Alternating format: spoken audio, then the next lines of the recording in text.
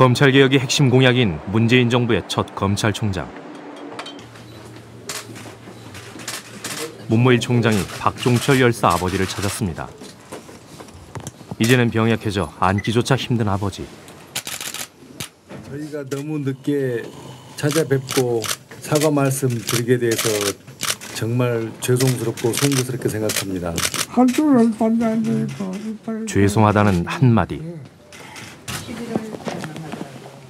31년이 걸렸습니다.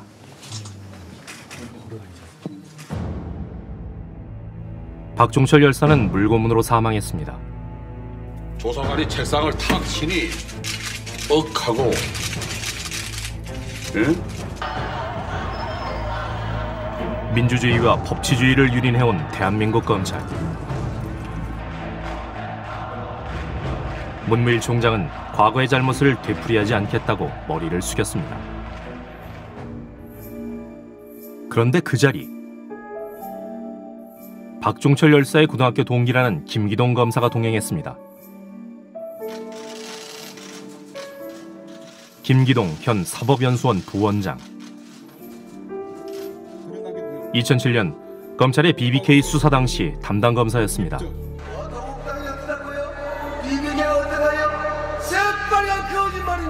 어 검찰이 대선을 2주 앞두고 내놓은 수사 결과 지금부터 수사 결과를 말씀드리겠습니다. BBK 다스는 이명박 후보의 것이 아니라고 했습니다. 이 다스가 이 후보의 소유라는 근거를 발견하지 못했습니다.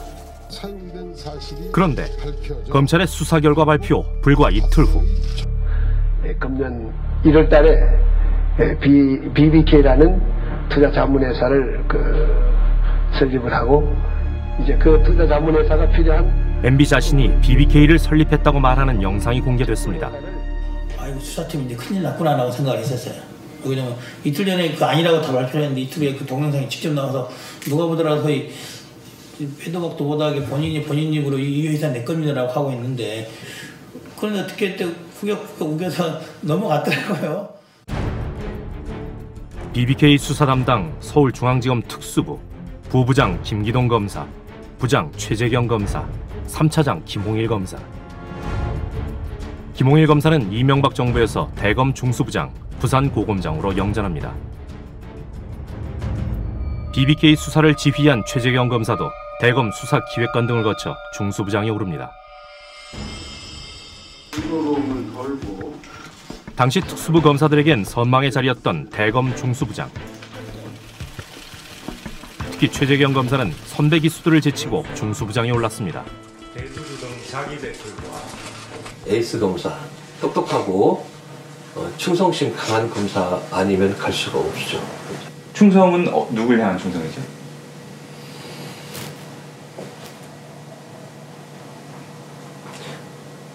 정해진 수사 방향에 대한 충성이랄까? 김경준 씨는 검찰 수사 당시의 일화를 여러 차례 폭로했습니다. 분명히 기억합니다. 지금 상황에서는 우리는 이명박을 기소하지 못한다. 어, 왜냐하면 기소해봤자 대통령으로 성, 당선될 것 같다. 그러면 검찰은 죽는다. 다 네가 했다고 하고 끝내면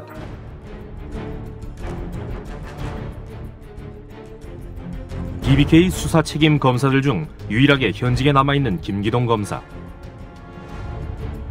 이명박 정부에서 영전에 영전을 거듭한 김기동 검사는 대부분의 동기들이 지방과 서울을 오가던 것과는 달리 내리 4년간 서울에 남았습니다. 검사가 이렇게 서울에만 쫙 계속 있는 없습니다. 불가능합니다. 어, 정무공무원 일이 아니었을까 싶은데요. 어, 그런 거죠. 어. 그 전무만 일이 왜 그분께 일어났을까요? 아마도 대선 과정에 있어서 수사할 때 톡톡히 덕을 받지 않았겠습니까? 그것은 정말 BBK 수사 결과에 대한 MB의 선물이었을까? 김기동 검사를 만났습니다. MBC 여쭤보려고 전화를 했습니다. 김기동 검사님 맞으시죠? 네, 아, 네, 알겠습니다. BBK에 대해서 한마디만 여쭤보려고. 10년대 결과 되었는데 한마 저 행사했습니다. 네, 알고 있습니다. 행사 중입니다. 저는 기다린 겁니다. 본인이 저, 저 검사는 이렇게 네, 예, 본인 판단입니다. 네, 네, 네. 중진이신데 네, 뭐, BBC는 BBK에 대해서 이명박 대통령께서 아, 좀 구속되셨습니다. 10년 전에 수사에 대해서 여러 가지 비판들이 있습니다. 어떻게 보시는지요? 저는 어, 당시에 부부장 검사로 예, 예. 그 수사팀에 참여를 했습니다. 네네. 어, 부장 검사 이하 어, 수사팀 검사들이 최선을 다했습니다. 아 그렇습니까? 네, 수고하십시오. 뭐 김경준 씨 이야기에 대해서는 더 이상 언급 안 하시겠습니다.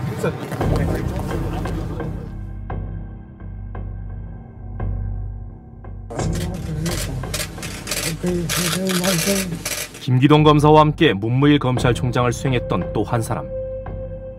박정식 현 부산고검장입니다. 2008년 BBK 특검 당시 나스 수사를 지휘했습니다. 특검 수사 결과는 전년도 검찰 수사 결과와 다르지 않았습니다. 당선인이 다스 지분 주식을 차명 소유하였다는 의혹은 근거가 없는 것으로 판단됩니다.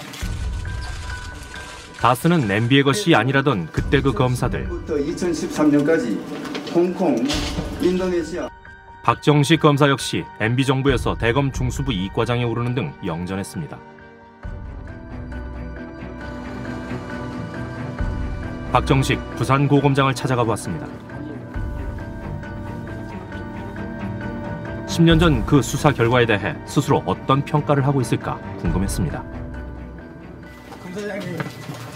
저기 미시 박근수 PD입니다. 바쁘신 하나만 여쭙겠습니다. 저희 어제 내려가서 배출 방법이 이거밖에 없어졌는데 오늘 다스 수사가 지금 재개됐지 않습니까? 좀 맞지 마십시오. 집하러 오신 거예요? 아니 제가 여쭤보, 여쭤 본인이 다, 답변 안 하실 수 있습니다. 하나만 여쭙고요. 괜찮습니다.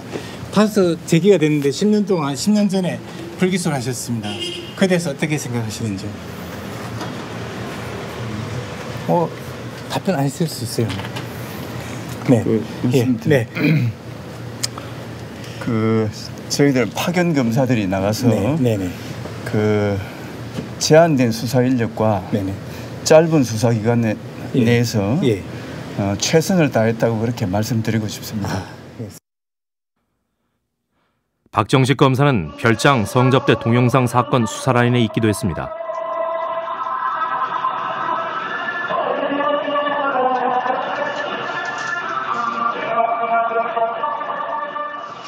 속옷 차림의 남성이 여성을 껴안은 채 노래를 부르다가 성관계를 하는 동영상.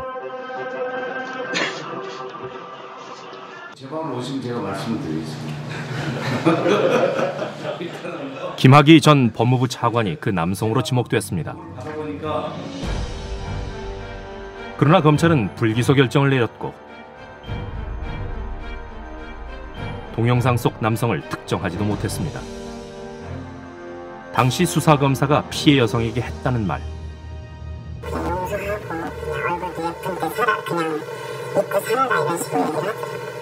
그게 검찰에서 요? 처음 검찰 수사 그 얘기를 검사가 했어요? 아니면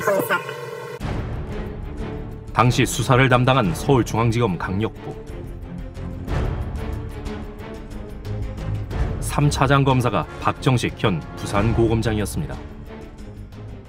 김학의 법무차관에 대해서도 불기소 어, 처분을 하셨는데 그때는 어, 정당했다고 생각하시는지? 그 철저한 수사를 통해서 그 당시 수집된 증거 관계에 의해서 또 검찰 시민위원회를 거쳤습니다.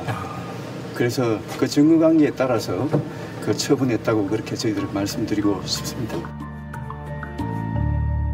10년 전 다스의 실소유주를 수사했던 검사들은 철저하게 수사했다. 최선을 다했다고 말하고 있습니다. 최선을 다해 철저하게 수사했는데도 다스와 이명박 전 대통령과의 관계는 밝혀낼 수 없었다는 겁니다. 이들의 말이 맞다면 당시 수사검사들은 그들의 무능함을 스스로 인정한 셈입니다. 하지만 이 검사들은 지난 10년 동안 영전에 영전을 거듭하며 화려하게 검찰 조직을 장악해왔습니다. 권력의 눈치를 살피는 데에만 열중하던 정치검사들이 왜 이렇게까지 승승장구하게 되었을까요? 검사 위의 검사라고 불리는 이른바 정치검사. 그들이 누구인지 좀 더 깊이 들여다보겠습니다. 제주도 2014년 8월 12일 늦은 밤 초록색 반팔 티셔츠를 입은 한 중년 남성이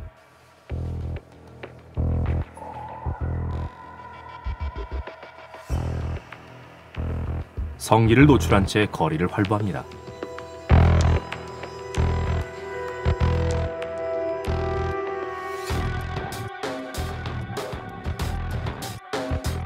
그러던 남성은 대로변에서 음란 행위도 합니다.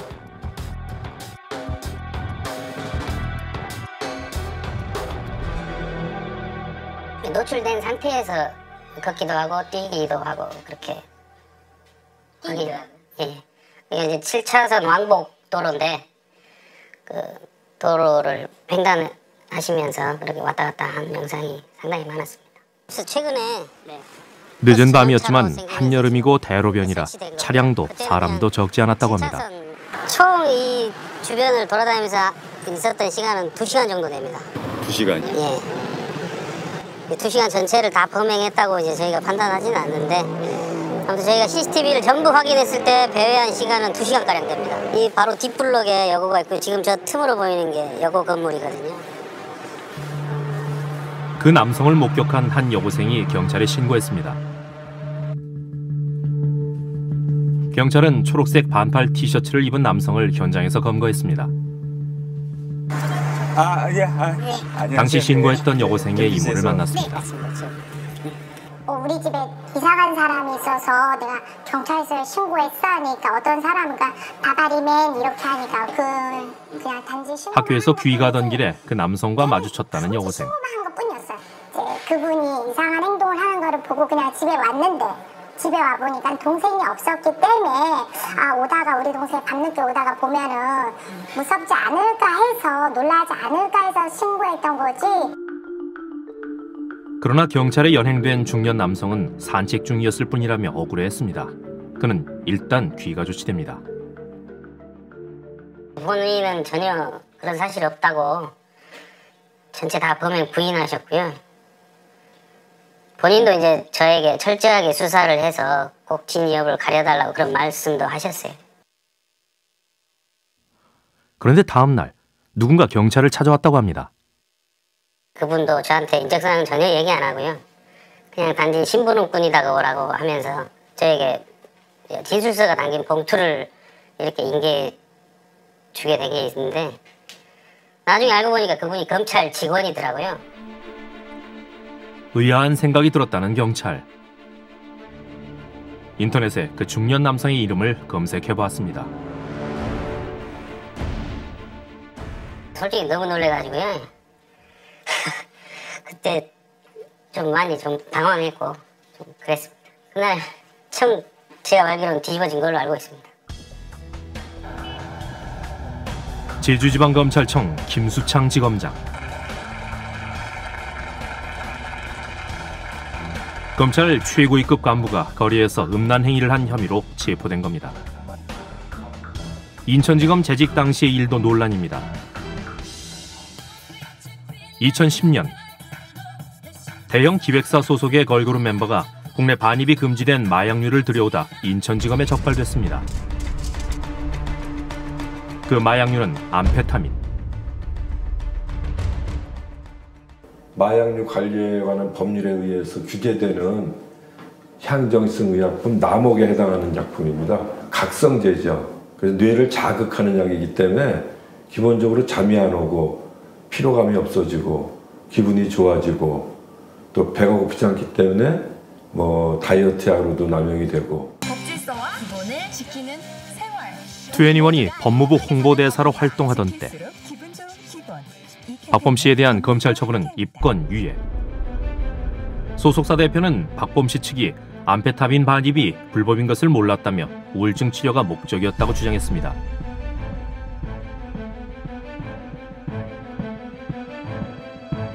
불법인 것을 몰랐다는 박범 씨 측. 그런데 과자 박스에 젤리류라고 적고 암페타민 82정과 젤리를 섞어 넣은 후 반입했다고 합니다. 또 미국에서도 대리 처방을 받아서 다른 사람이 대신해서 그 약을 받았고 또 들어올 때마저도 젤리 형태로 그것을 굉장히 섞어서 젤리로 보이기 위해서 그런 통관 절차를 했다는 점을 본다면 어떤 검찰에서 이권 유예한다는 그 변- 피의자의 변명 그러니까 치료 목적이었다는 부분은 사실 일반적인 사건에서는 좀 납득하기 어려운 면이 있습니다. 이 사건이 더 큰 논란이 된 것은 유사 사건에 대한 검찰의 처분이 전혀 달랐기 때문입니다. 거의 같은 방식으로 암페타민 29정을 밀수한 일반인은 구속 기소. 암페타민 82정을 밀수한 박범 씨는 무혐의에 가까운 입건 유예 처분. 당시 수사 담당 검사에게 그 이유를 물었습니다. 암페타민 29종을 들여왔다가 구속 기소가 됐었잖아요. 그때 그런 게 있었나요? 우리 그게 한 8, 9년 돼가지고 저도 가물가물하네. 근데 아마 그때 그건 다른 뭐가 있었을 거예요. 밖에서 알지 못하는 뭐가 있었을 겁니다. 그 수사 같은 경우에도 한 한두 달 정도 굉장히 좀 오래 걸렸다는 그 논란에 대해서는 좀 어떻게 생각을 하시는 건가요? 저는 전혀 그런 논란에 대해서 아는 바가 없습니다. 당시 담당 부장검사 이영기, 직속 상관인 2차장 검사가 김수창, 인천지검장은 김학의. 입건 유예는 말 그대로 입건도 아니고 사건 번호도 안 집어넣었다는 이야기인데 암페타민 82종을 어, 원래 가지고 들어오다 적발된 케이스를 입건 유예하는 것은 정말 이례적이에요. 조 변호사는 검찰 시절 인천지검에서 2년간 마약 수사를 담당했었습니다. 그런 케이스는 없죠. 반드시 입건해서 말 그대로 정말 피치 못할 사정이 있었으면 그래도 어, 908을 해서 최소한 집행유예 정도는 받게끔 하는 뭐 구속은 아니라 하더라도 그게 아마 정상적인 사건 처리였던 것으로 알고 있습니다. 다시 제주도. 초록색 반팔 티셔츠를 입은 중년 남성의 이야기로 돌아가 봅니다. 에 관하여 제기된 CCTV 속 남성으로 지목된 김수창 제주지검장. 터무니없는 의심으로 인격이 말살되고 있다며 신속하고 철저한 수사를 받기 위해 사직하겠다고 밝혔습니다. 법무부는 다음 날 즉각 김수창 지검장의 사표를 수리합니다. 그러나 경찰이 공연 음란 혐의로 그를 검찰에 송치하자 김 전 지검장은 그제서야 변호인을 통해 범행을 시인합니다.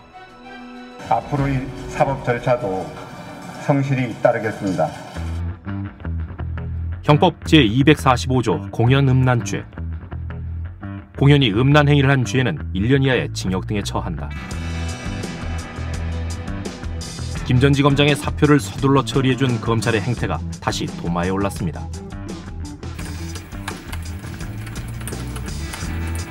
이문정 검사가 당시 검찰 내부 통신망에 올린 글입니다.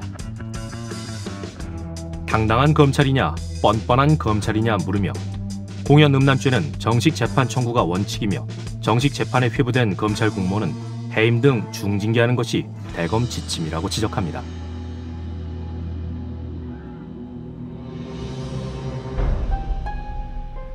스스로의 지침마저 무시한 검찰.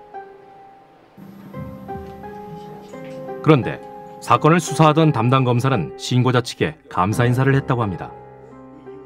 검찰에 가서 저가 조사받을 때 그분이 자기도 같은 식구지만 그 한마디는 고맙다고 하더라고요. 신고자 측은 당시 어떤 언론과도 인터뷰하지 않았습니다.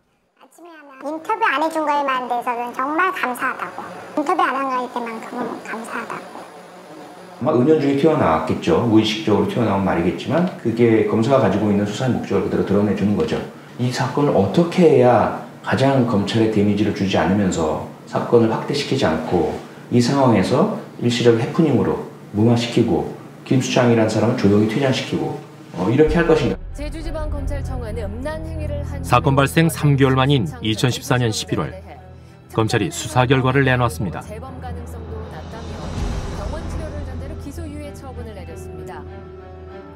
이름도 낯선 성선호성 장애 치료 조건부 기소유예. 성선호 장애는 성도착증과 어, 같은 용어이긴 하지만 의사들은 쓰지 않는 생경한 용어입니다. 전혀 쓰지 않죠. 뭐 일반인들도 잘 알아들을 수 있고 통용되는 단어가 있는데 굳이 왜 전혀 의사들도 쓰지 않는 생소한 용어를 썼는지 다른 의도가 있지 않았을까 생각이 됩니다. 이제 국민들한테 조금 이제 헷갈리게 하는 거죠. 어, 좀 눈을 가리겠다는 거죠. 소위 송도착증 환자라고 그러고 또 뒤에 붙이지 않습니까? 근데 그 환자가 검찰 내에서 병검사, 부장검사, 차장검사, 검사까지 검찰 최고위직에 올랐다는 거. 국민들이 아 저렇게 되면 지금까지 검찰 결정 어떻게 믿을 수 있겠냐 그런 것으로 검찰의 지금까지 결정에 대한 신뢰성 문제이기 때문에 좀 어려운 말 한 거죠 성선호성 장애. 치료가 우선일 수 있습니다. 그러나 문제는 그런 사람이 검찰 최고위직까지 올랐다는 것. 총 12명입니다. 현재 유용 중인 더구나 공연 음란 사건의 기소 유예율은 14% 정도일 뿐입니다. 이건 처벌보다는 치료가 필요하지 않느냐라고 볼 수 있는 시선을 줄 수가 있습니다. 하지만 문제는 법 앞에 평등이라는 문제예요. 오직 그 고위검사, 특히 제주 지역의 최고의 어, 검찰 지휘관이라는 이유만으로 이 사람만 특별한 동정을 더 받은 거잖아요. 김수창 전 지검장은 검찰을 떠난 지 1년여 만에 성선호성 장애가 완치됐다며 변호사 개업을 했습니다. 김 전 지검장에게 인터뷰 요청을 했습니다. 예, MBC 피드수첩 팀인데요. 네, 인터뷰 안 하시겠다고 하셨어요. 아, 공문을 보신 거죠? 예, 제가 전달했어요. 아, 인터뷰를 안 하시겠다고? 예, 예.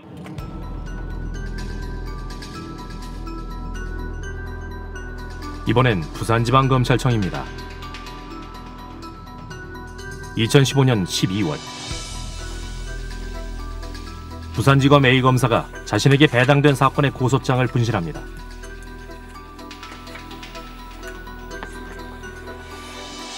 A 검사는 실수로 고소장을 잃어버렸다고 했습니다. 그런데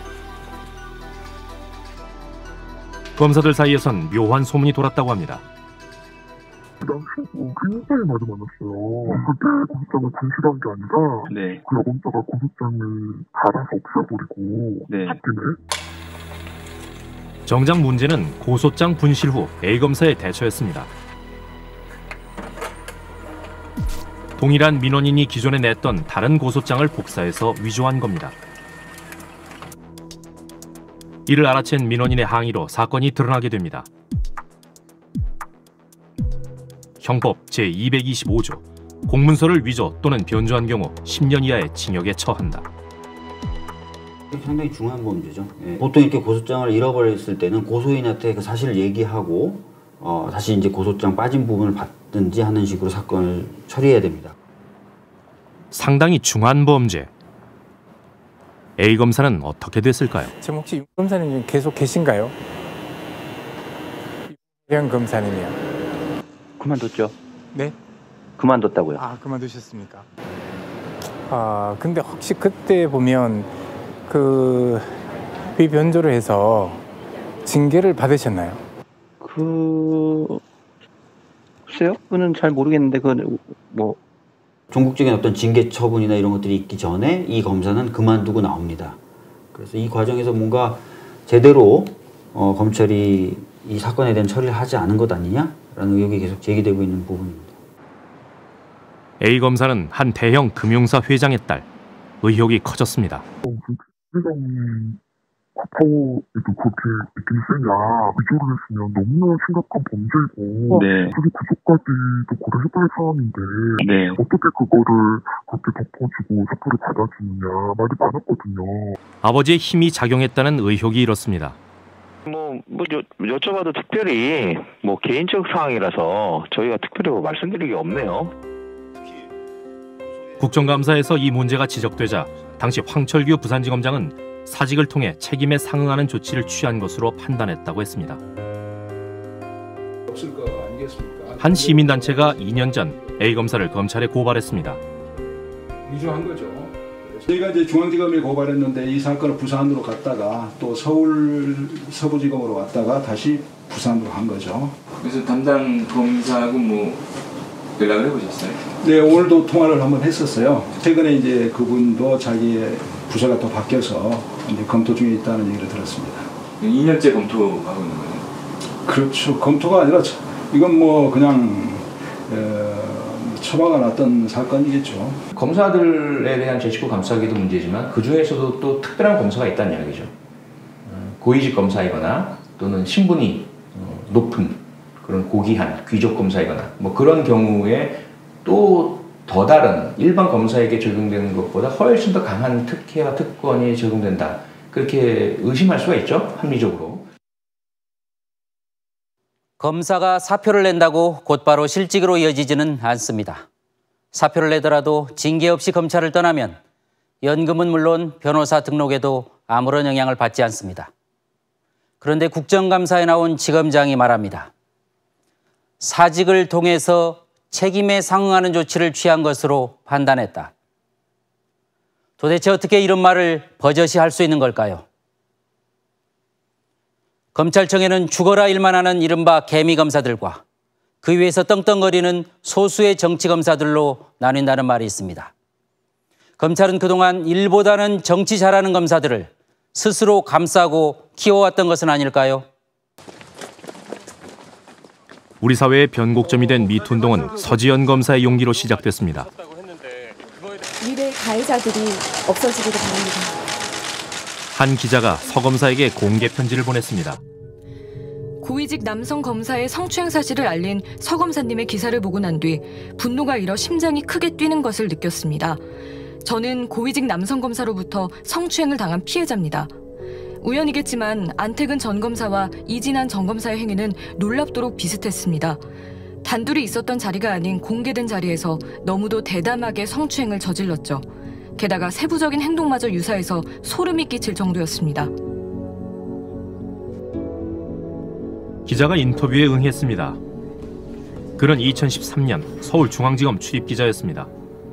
당시 국정원 댓글 사건을 수사하던 어, 댓글 수사팀이 있었고 어, 그걸 그 수사를 지휘하고 어, 관할하는 그런 임무를 가지고 있던 사람이었어요.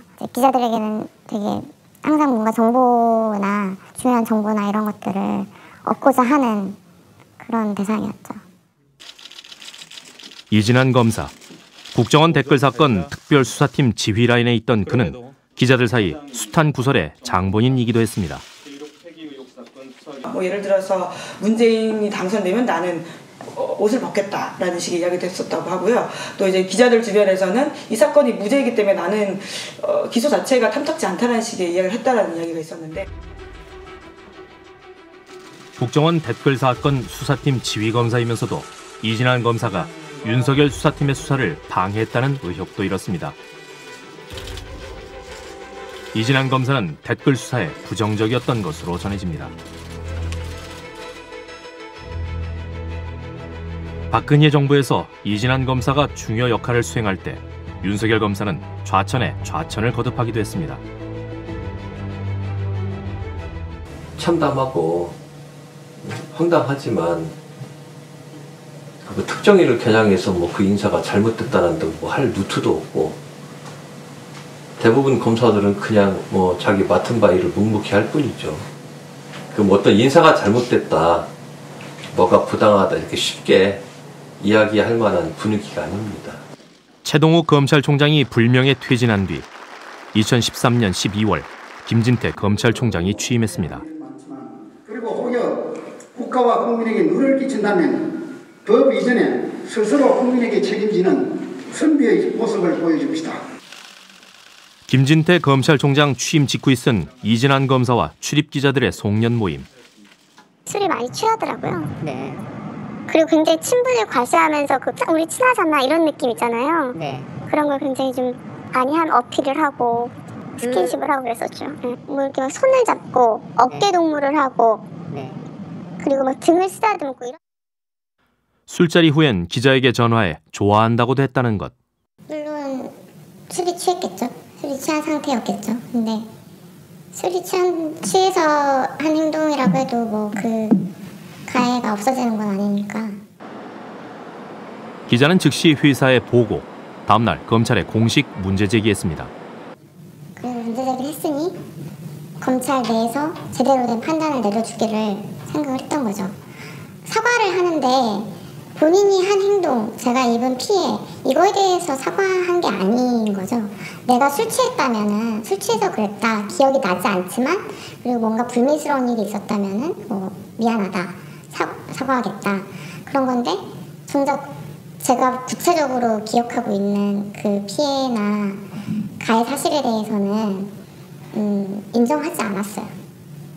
끝까지 한 번도. 그 자리 말고 신한 사장이랑 식사 자리, 점심 자리나 저녁 자리를 할때 그분이 뭐 부적절한 발언을 워낙 많이 하셔서 아 성격인 발언도요? 되게 막 넘, 넘나드는 발언이요. 야스라스한 발언 많이 하셨던 것 같아요. 그래서 분석하셨던 그 수행하러 오신 검사님들이 되게 안절부절했던 게 기억나요. 검사가 이렇게 여기저를 성추문할 때 검찰에서는 그리고 법무부에서는 이 검사를 감싸기만 할 것입니까? 지금 감찰 어, 진상 확인 중에 있는 것으로 알고 있습니다. 감찰하고 있습니까?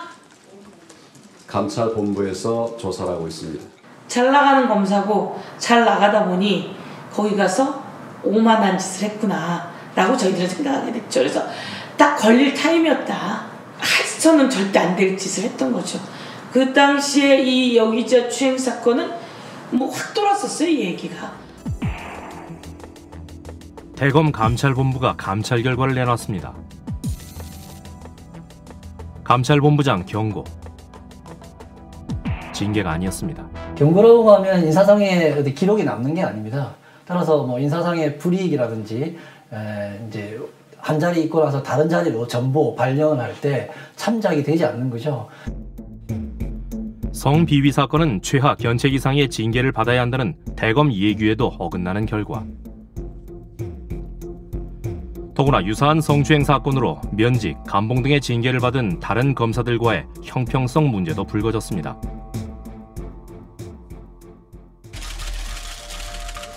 대검 감찰본부는 감찰위원회의 결정을 따랐을 뿐이라고 해명했습니다. 감찰위원회는 감찰의 공정성을 위해 교수, 변호사 등 외부 인사를 참여시켜 구성한 기구입니다. 감찰위원회는 왜 그런 결정을 내렸을까?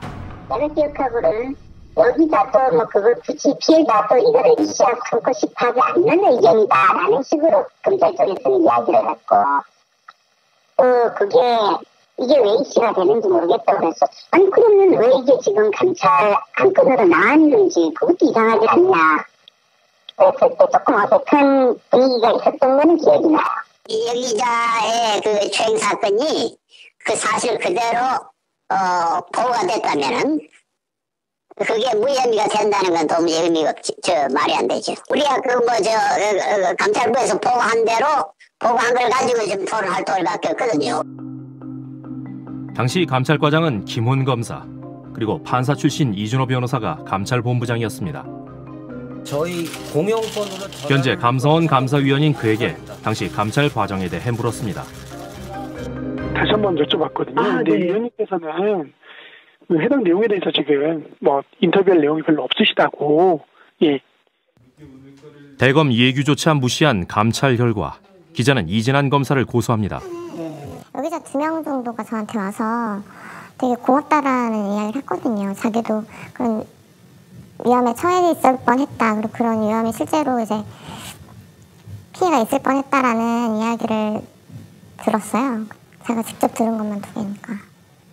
그래서 더 고소를 해야겠다는 생각이 들기도 했고요. 아 이게 이 사람이 그냥 한 사람한테는 실수로 한 게 분명히 아니구나 생각했고. 박주민 의원이 당시 담당 변호인이었습니다. 검찰 조직과 검찰 식구들을 챙겨야 된다는 고소장을 접수하고 했는데 수사가 진행이 안 되는 거예요. 그래서 제가 담당 검사한테 전화를 해서 그렇게 얘기했습니다. 내가 1인 시위를 할까? 지금 검찰 앞에 가서. 그러면 수사해 줄래? 라고 하니까 그때서야 고소인 조사 일정을 잡아주더라고요. 그 정도로 수사가 잘 진행이 안 됐어요. 그런데 검사가 작성한 진술 조서가 이상했다고 합니다. 최대한 부, 부드럽게 쓰는 거예요. 그래서 제 기억에 그렇게 많이 조서를 수정한 기억이 없는, 없어요. 분명히 피해자는 A라고 진술했는데 출력해서 보니까 A가 아니라 C로 적어놓은 거예요. 그래서 이거 다 고치느라고 굉장히 오랜 시간을 들였던 기억이 있습니다. 저는 의심이 들었던 게 누군가를 보호, 당연히 그 이진한 검사 때문에 뭔가 보호하려고 했었던 게 아닐까라는 의심을 가지는 거죠. 고소 1년여 만에야 이진한 검사를 소환 조사한 검찰. 2015년 11월 무혐의 처분합니다. 이진한 검사 성추행 사건은 당시 서울중앙지검 형사 1부가 맡았습니다. 부장검사 심우정, 차장검사 전현준, 중앙지검장 박성재. 심우정 부장검사는 당시 엄정하게 수사에 처분했다는 답변을 보내왔습니다. 전현준 당시 차장검사는 퇴직한 상황이라 언급하는 것이 적절치 않다고 했습니다. 박성재 당시 서울중앙지검장에게도 인터뷰 요청을 했습니다. MBC.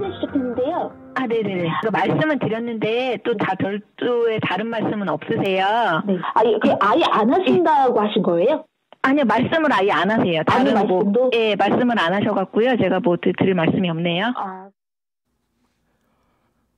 무혐의 처분을 받은 직후 사직한 이진환 검사는 현재 대형 로펌에서 변호사로 활동하고 있습니다. 검찰 스스로가 그 파장을 이미 알면서도 그렇게 될 경우에 언론에서도 기사화 될 것이고 사회 비난이 집중될 것이고 국민들의 검찰에 대한 어, 신뢰가 떨어질 것이고 제 식구 감싸기 논란 또 일어날 것이고 다 예견되고 알고 있거든요. 그럼에도 불구하고 감수한 거예요. 이진환이라는 사람을 보호하기 위해서. 그건 결국은 제가 봤을 때는 검찰 전체에 대한 메시지라고 봅니다.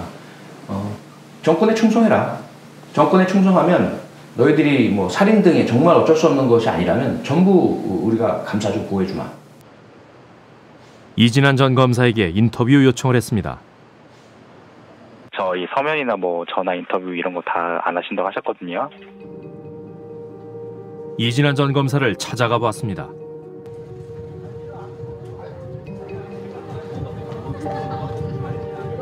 이진아 검사님, 네, 안녕하세요. 저 MBC PD수업에서 나왔는데요. 네, 한 말씀만 여쭤보겠습니다.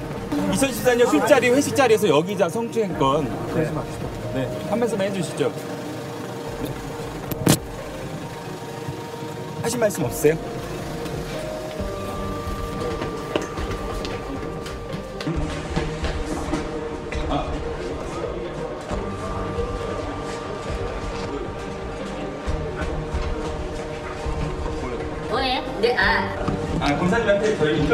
아니 뭐 하는 건데?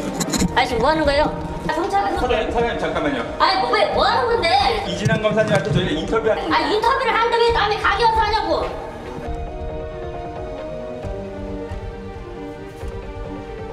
그로부터 한시간후 이진환 검사가 식당에서 뛰어나왔습니다.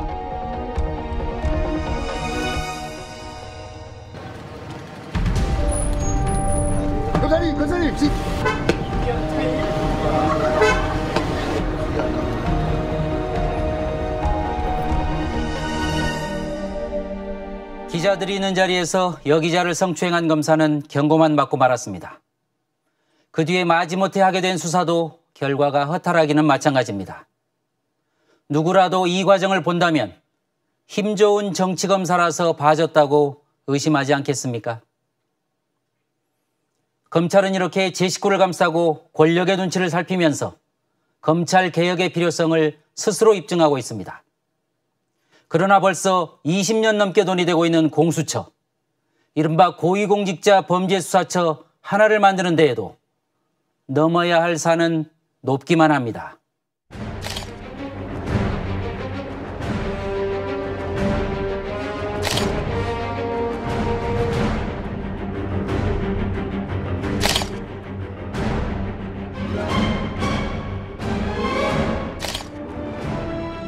검사 위의 검사, 정치 검사.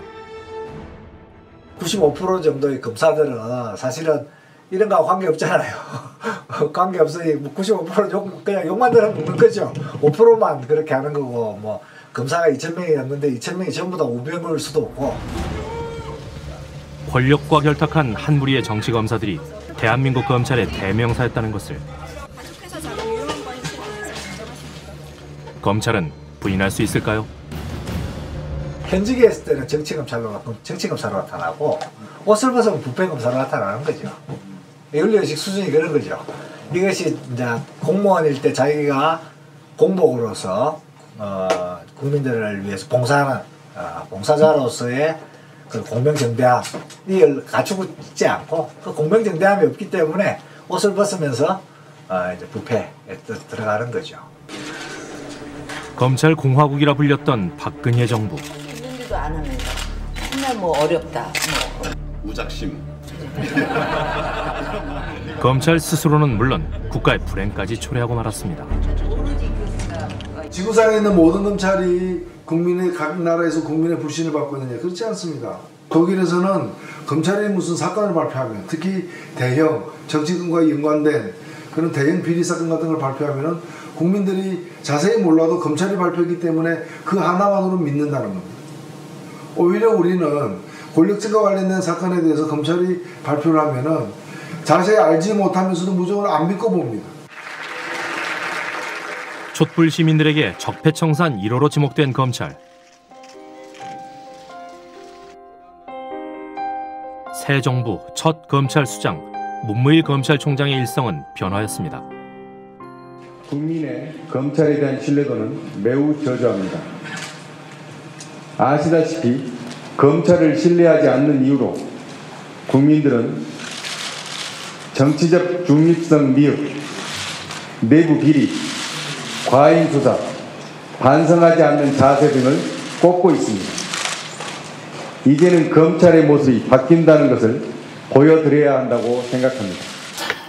어, 저는 검찰총장이나 검찰 구성원들 스스로가 검찰 개혁의 필요성을 인정을 해서 개혁에 나서거나 협조할 가능성은 전무하다고 봅니다.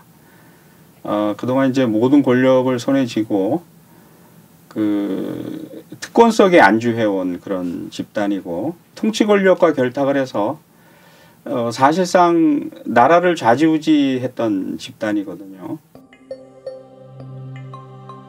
모든 권력을 독점한 채 정의와 인권, 진실을 유린했던 정치검찰. 더 이상 시간은 검찰의 편이 아닙니다. 검찰이 좀더 국민들의 마음에 다가가려면 어떻게 해야 될까요? 이뭐 적절치 뭐 어떻게 평가할지 모르겠으나 국민들이 하자는 대로 하면 되죠 뭐. 검찰이 국민들을 받고 있는 불신을 해결하기 위해서는 원튼 원치 않도 국민들의 말을 한번 따라와 보는 자세가 필요하다고 봐요. 뭐 예를 들면 공수처를 완전히 대해서 검찰에 여러 가지 이론도 있을 수 있고 하지만은 국민들이 못 믿으니까 한번 해보자고 하면 해볼 필요가 있는 거죠. 그길 가볼 필요가 있는 거예요. 일부 정치 검사들이 장악해온 검찰에겐 어떤 명예가 남아 있을까요? 나는 불의의 어둠을 걷어내는 용기 있는 검사, 힘없고 소외된 사람들을 돌보는 따뜻한 검사. 95%의 검사들도 억울할 것은 없습니다. 정의와 인권을 바로 세우고 국민들에겐 저항하지 않았던 그들 모두 공범일 뿐입니다.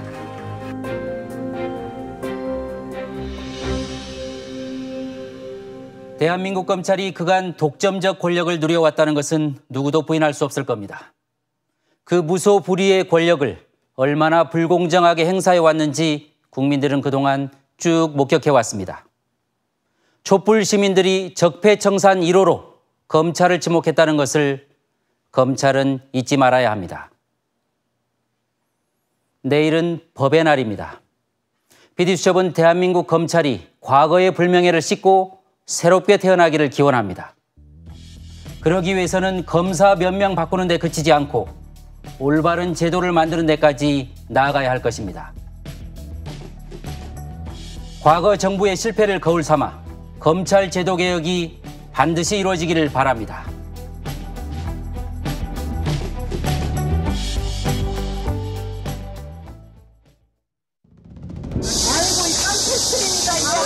제가 의식을 못할 정도로 이렇게 집단 폭행을 했지요.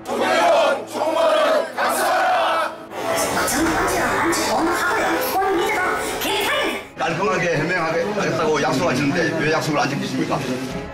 왜 저희를 막으시는 거예요?